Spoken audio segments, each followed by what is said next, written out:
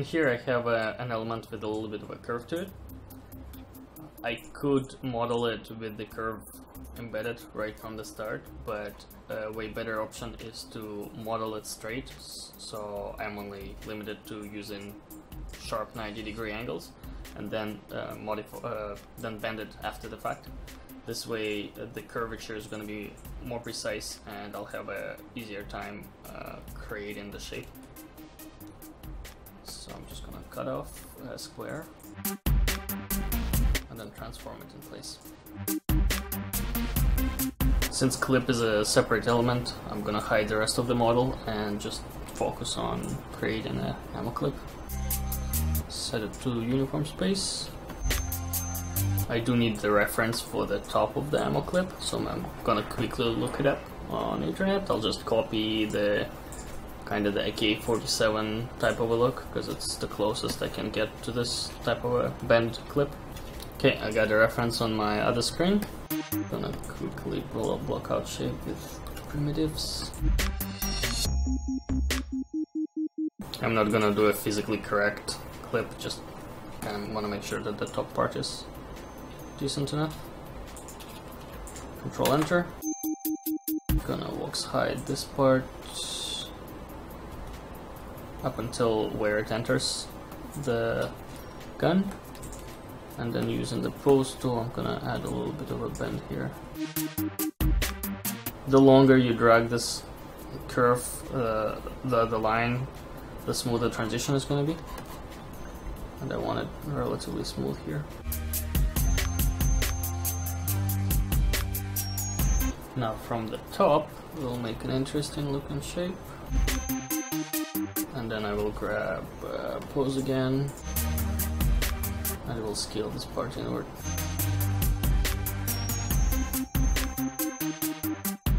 I can use the primitive here, probably will look better.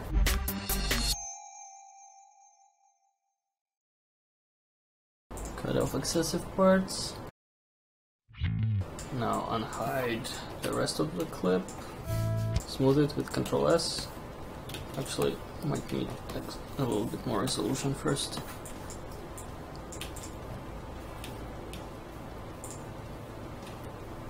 Okay, so rise up. Smooth. Okay, we got a good start. Cut off. Looking good. Hmm.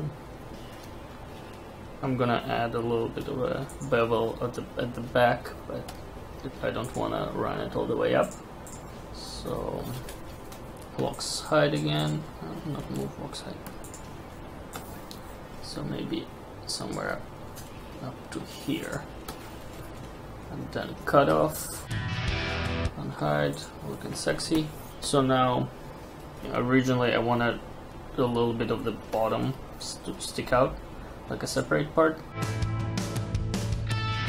I need to keep this as one piece because I'm gonna be bending it so I'll add I'll do a box extrude or I can just use the pose tool again something like this.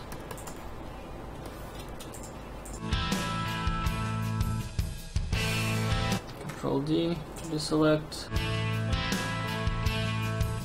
Avoiding straight lines. This is a good start. Now I want these two lines. Uh, I'm gonna use primitives.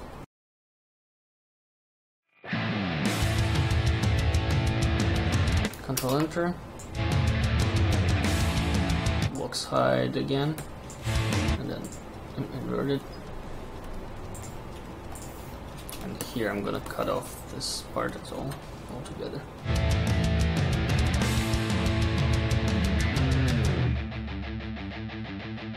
okay now that we are ready we I'm gonna do the warp and the, what warp does is it bends and twists First thing first, we need to set up the axis properly. I think we're getting somewhere.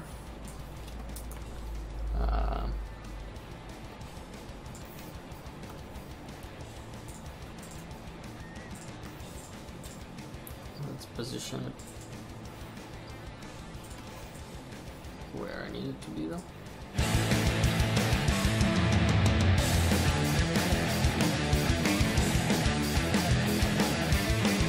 The way it works is that you need to establish the kind of the origin, the pivot point at which it's gonna bend. So I'm moving this circle to until I get uh, the result I'd be more happy with. And for the start angle, I'm gonna set it back to. Well, it looks like zero is not an option, but set it to 90. Okay, this is good. Now, bend is, angle is a little bit too much for me. I don't want forward step. So I'm gonna move this circle until I get something cool. Mm, we don't want segments. Yeah, I guess what I can do is make sure that the bottom part is as flat as I need it to be. And then adjust the placement of the gizmo to get the proper length. But I guess this is the best I would get. Press and enter, moving in place, rotating a bit. I want this part to be slightly more straight, so I'm gonna use a pose tool.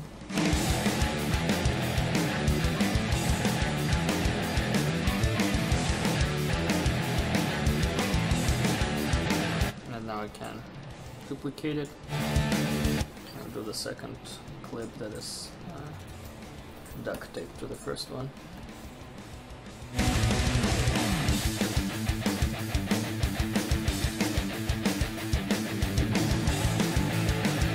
This is the nature of designing things when you look at it from a different angle, especially like in, in 3D. A lot of times it looks fine close up, but then you zoom out and overall it looks like shit, so you grab a chunk and you delete it.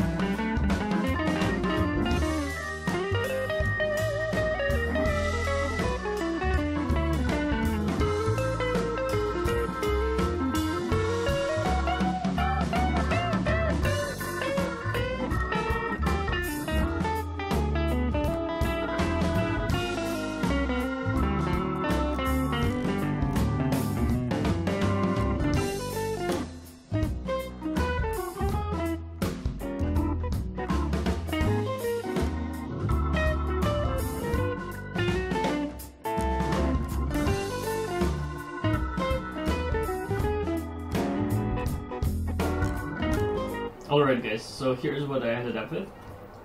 It's not fully done concept, but it, it should be enough to show you the process.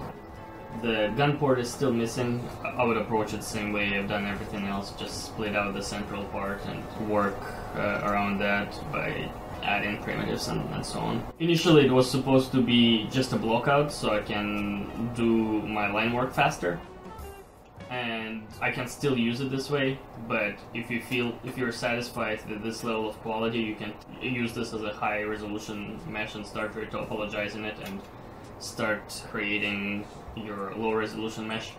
What I like about this approach of working both in 2D and 3D at the same time is that in the end you end up both with a nice looking line drawing, which is great, and I, I still very much prefer doing design in, in line art uh, because of faster iteration.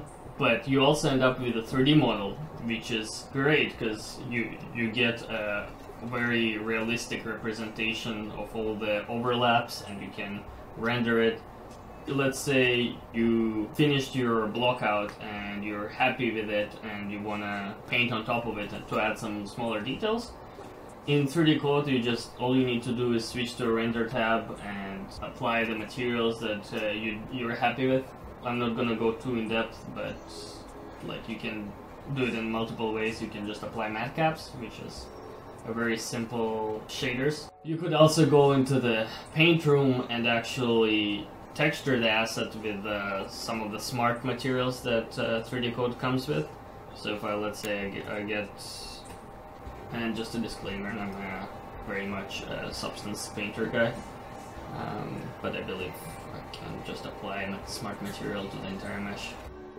So it gives you this, uh, the preview window. Smart materials uh, require ambient occlusion, so if I just uh, quickly bake it.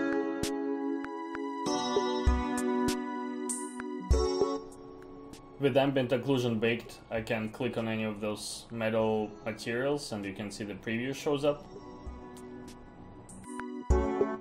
And this is the model without any materials in it.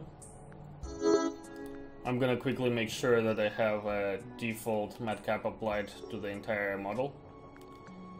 Previously, they used to affect how your textures are being or materials are being displayed. An interesting thing is now I'm back to a sculpt room and ambient occlusion is still being displayed on my sculpt so you can preview your model with ambient occlusion on it if you bake it. You can start assigning different materials to different parts of the model to create a really nice base for uh, painting or photo bashing. I'm gonna apply a material to the entire mesh and the way I'm doing it by selecting selecting the material and filling the whole layer with the fill bucket. So I'm just gonna fill a layer, yes, and it's gonna apply this material to the entire layer, which affects the entire mesh. Okay, and now with this material, what's what's great about smart, smart materials is that you can preview your uh, model with the realistic PBR material applied to it without and it's, it's really quick so you don't have to actually go ahead and texture. Yeah. So you just press render button and it renders, it out. In my case though I don't want to do the paint over because uh, uh, the other two guns that I've designed so far they were line drawing. I want the this third uh, assault rifle to be a line drawing as well so what I'm going to do is I'm going over here and uh, to sculpt mode, render expert, and let's call it gun test. So what applying the materials did, it switched all my objects to, to, surfaces, which is, I guess, the what 3D-Coat needs to do in order to apply materials. Either way, right now they're really dense meshes, and whenever you export the scene 3D-Coat it will offer you to decimate the scene to optimize the poly count. And here, like, uh, it's currently I have 40 million polys, which is a ridiculous amount, and I think we can work maybe like 4 million should be fine because I don't want too many artifacts, but I also want it to be relatively optimized. Uh, with the gun exported out, I'm bringing it into ZBrush. And you can see we have our thing right here. There's a minor artifact over here and I, am pretty sure it's caused by switching to the surface mode so I'll have to in investigate it later but at this point it's not the point. So while 3D-Coat offers a really fast and nice uh, rendering capabilities, what I like about ZBrush is that matcaps allow for some cool creative ways to display your mesh. So what I've done is I created this line drawing material and it lets me quickly create a line work based on a 3D model. And it also offers a lot of parameters that I can play with. So there's a cavity detection that lets me uh, increase the amount of lines that are being captured. And there's a cavity, uh, transition. It's nice because it lets you capture inner parts and outer parts. So I can use this to combine to create several different screenshots and using them I can create pretty pretty detailed nice technical drawing that I can modify further in Photoshop and draw on top of it on top of it. One of the problems though however is uh, ZBrush uh, when it comes to actually saving it out and rendering you can end up with a little bit of aliasing on the lines and I don't like that so you have to like crank, crank up your canvas size quite a bit uh, when you're rendering out. Alternatively, if you have a ZBrush KeyShot bridge and KeyShot for ZBrush license, you can render it in KeyShot, and I'll show you that this in a second. External render KeyShot, and I'll press BPR. So by default, KeyShot tries to bring all the materials that are applied to the model, and in, in this case it brought in my line work material, which doesn't really transfer over properly. But um, KeyShot has its own uh, toon outline material. So if I apply it to my model, you can see we're getting a really nice line work. And if you are, let's say, if you want it, want it to be like a 2D drawing, you can disable the shadows and the backdrop. One keep in, thing to keep in mind though, what you see here is not a pr proper representative of what's going to be rendered. So if you switch to uh, material editor here. So right now I'm using all the default settings. Contour quality is set to 1. We can crank it up to 5 because I want my lines as beautiful as possible. Contour bit is set to 1 though, and that means 1 pixel. So whenever I'm gonna press render, the lines are gonna be pretty thin, even though here they do not appear to be thin at all. So I'm gonna show this to you in a second. And one of the key parameters in this material is this contour angle. So right now it's set to 60 and it basically puts a line wherever it's the camera sees a 60 degree angle. So if we set it to let's say 40, you're gonna have way more uh, lines and like the lower it is, the more you're gonna see, but the messier your drawing is gonna end up looking. I like to play with it until I get a really good result I would be happy with. In this case 60 is actually pretty good. Now if I press render, Control P, um, let's render it at uh, like 920. And then quality, advanced control. Okay, should, okay, let's just press render and see what happens. So you can see the gun is rendered, um, and because it's a relatively low resolution, the one pixel contour looks fine, but there's some, I'm losing some of the definition here. So what I'm gonna do is, I'm gonna crank it up to 8K. And that automatically constrains the aspect ratio, which is good. And if I render at 8K, the lines are much more refined, but they're also fairly thin. And this is when I would start adding thickness, so say set it to 3 pixels and in here it becomes really ugly looking. But if you render,